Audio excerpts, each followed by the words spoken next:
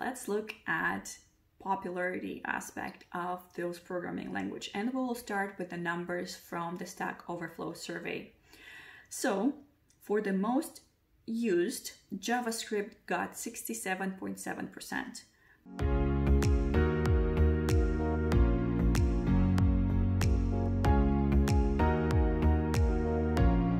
You're watching Holistic Developer channel.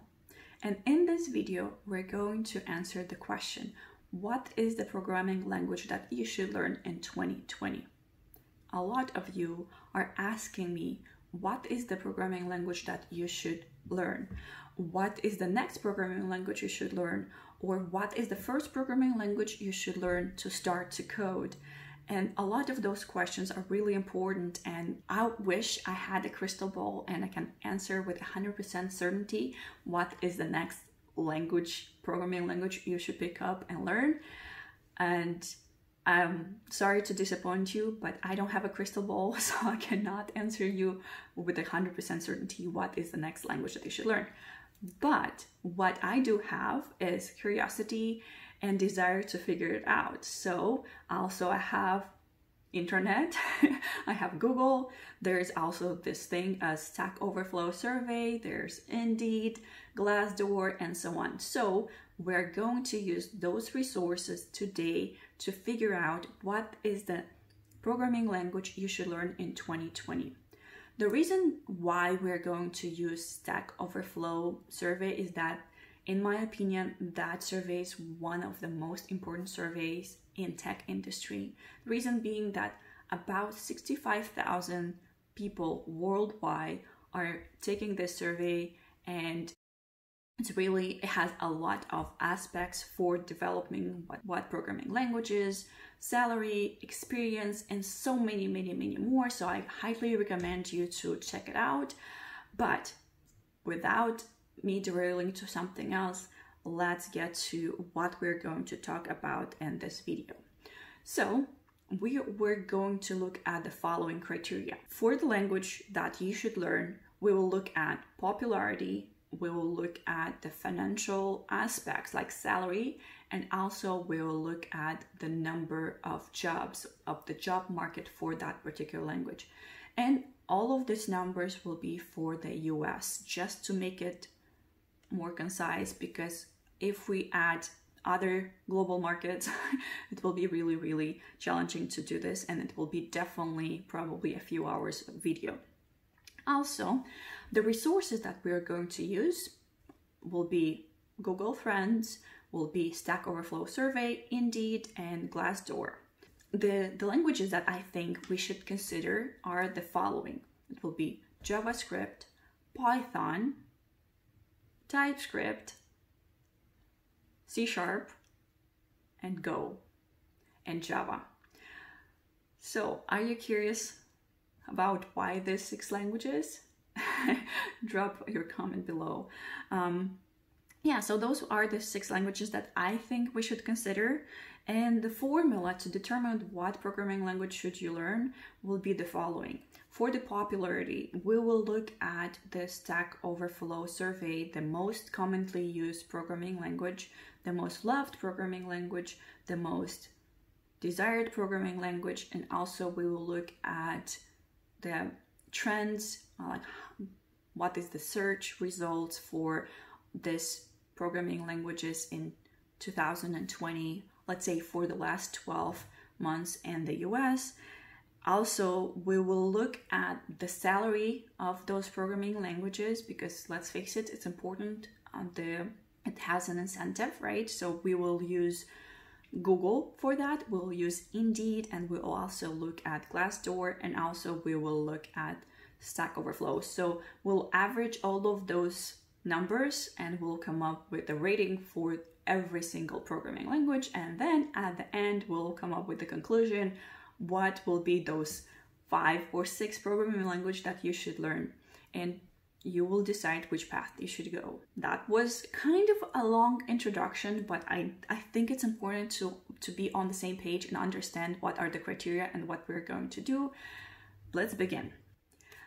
Let's look at popularity aspect of those programming language. And we'll start with the numbers from the Stack Overflow survey.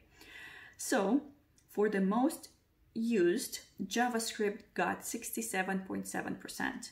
For the most loved, JavaScript got 58.3%. For the most wanted programming language, JavaScript got 18.5%. Moving on to Python. For the most used programming language, it got 44.1%. For the most loved, it got 66.7%. For the most wanted programming language, it got 30%. Moving on to Java.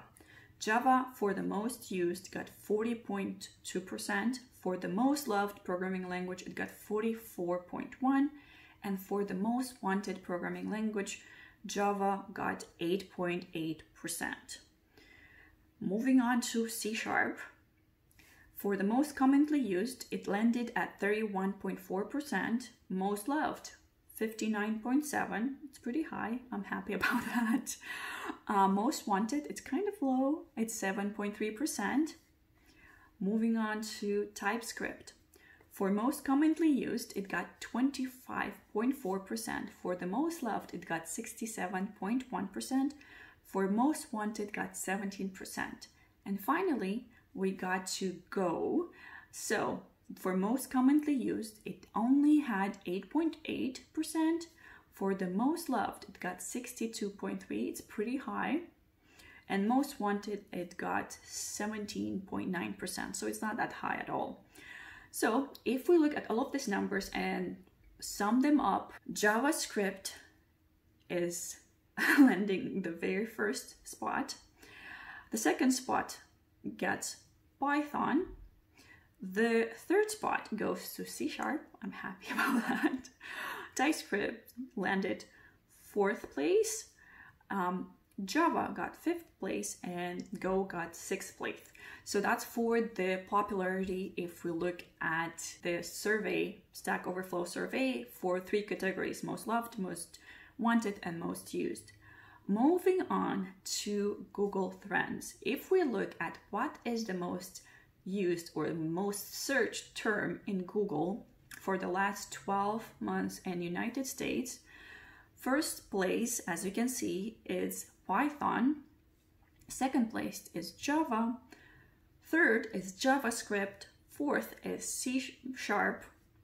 Go is the fifth, and TypeScript comes last. So we'll look at this too later on when we'll decide which are the criteria, uh, what will be the top language that you should learn in 2020. So far, are there any surprises?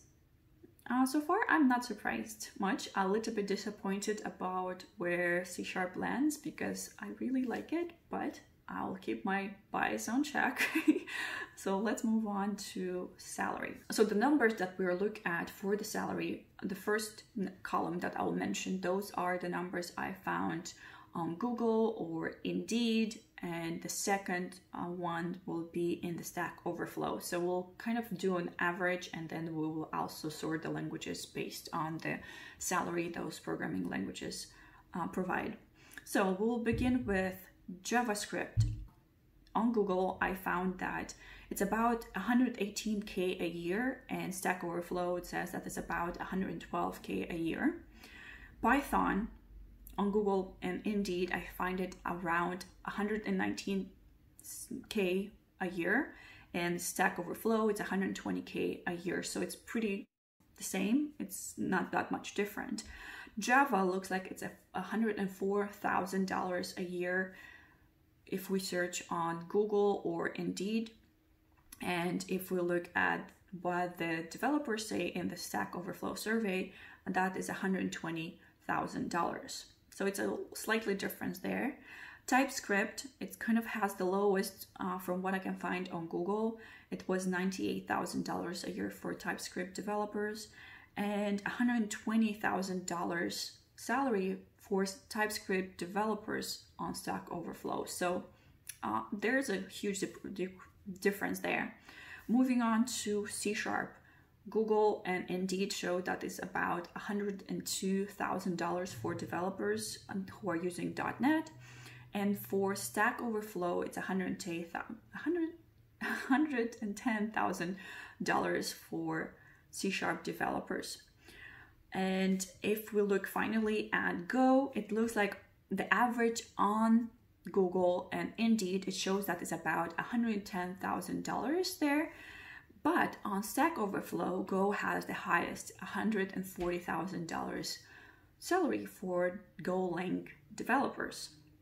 So if we were to look at these numbers and summarize and kind of give it a rating, kind of place this programming languages based on their salaries, we'll get first place goes to Go, um, second goes to Python, third goes to JavaScript, fourth goes to Java, fifth goes to TypeScript, and sixth goes to C Sharp. That breaks my heart. okay, our next criteria was to look at the job market. So the first number that I'll mention will be the numbers that the job offers are according to Indeed, and the second number will be the Glassdoor numbers. So for JavaScript, we have about 37 and a half thousand job postings for JavaScript developers, and on Glassdoor, it's about 48,000 job postings for JavaScript developers. For Python, we have on Indeed about 50,000 postings and on Glassdoor about 65,000 postings. Moving on to Java, Java got 45, about 46,000 postings on Indeed and about 68,000 posting for Java developers. Moving on to TypeScript, on Indeed is about three and a half thousand postings, and on Glassdoor it's about five and a half uh, job offers for TypeScript developers. Moving on to C Sharp, my loved one.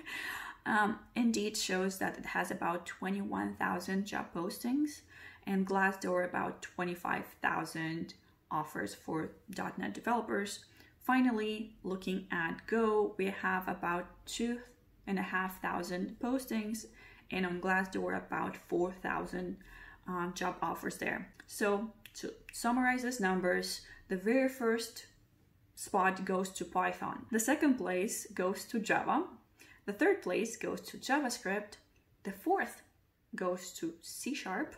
The fifth place is given to TypeScript. And finally, we have Go. So far, we looked at the popularity of this six programming language. Then we looked at the search trends.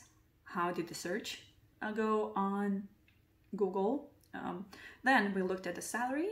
We looked at the job market, how many offers are currently in the US for the six programming languages that we are considering. Let's summarize all of this numbers that we have and then we will see who are the winners. Okay, conclusion. For the really quick to wrap it up, for the popularity score, Java got one, Python got second place, um, Java got fifth place, TypeScript got third place, C Sharp was fourth, Go was sixth. Uh, for the job market, JavaScript got third place, Python the first place, Java second, TypeScript fifth, um, C Sharp 4, and Go 6. Oh my god, there are so many numbers. Bear with me. We are getting really close to the conclusion. Um, for the search market, so how, how often was that search on Google for the last 12 months? So the most used or the most searched was JavaScript. The second most used was Python, then Java, then TypeScript, then C Sharp, and then Go. Salary, JavaScript got third place, Python got the second place, Java got the fourth place, TypeScript got the fifth, C Sharp got the sixth, and Go got the first. So, all of these numbers, let's summarize them and get to what are the top six languages that you should learn in 2020. So, drum roll, like let's do that. I don't know how to do that, but here are the numbers. So if you were following along, maybe you put everything on paper as well. But if you didn't follow along, here are the top languages you should learn in 2020. We will start with the bottom, moving on to the top. And those, I want to preface again, those are the numbers according to our formula. That doesn't represent the reality, maybe, it's just the formula that we used. So it's a kind of a specific data set of numbers. So please take that with a grain of salt. So we have two programming languages that landed on spot number five, and that is Go and C Sharp. Oh my God, C Sharp, you got the fifth place. The oh God. Um, yeah, I'm not a good actress, sorry. the fourth place goes to TypeScript. The third place goes to Java. The second place goes to JavaScript. The very first place goes to Python. Does any of this come as a surprise to you? Did you expect a different language to be at the top? Honestly, I'm pleased with the results because Python, it's actually my next programming language that I'm going to learn to code in, and that will be probably in a week or two. So I'm happy to see this results. Um, to be honest, it breaks a little bit my heart to see my beloved C sharp language to be very um, at the bottom of our uh, list of programming languages you should learn in 2020. But um, overall, I kind of liked all of this. It was kind of fun. That was it. Those are the numbers, those were my formulas and my thoughts. I'm curious, how would you modify the formula? What would you add or what would you remove or how would you determine what language should you learn in 2020? If you found this video informative, make sure to give it a thumbs up. If you haven't subscribed yet, there's a red button right below this video, like my, my shirt. Make sure to click on it, that will subscribe you, and also click the red bell. Not, it's not red, it's gray. Click the bell to get notifications when next videos are coming up that will be on similar topics about software engineering. And as always, I'm wishing you to stay sharp, to stay smart, and to have fun. Happy engineering. Bye bye.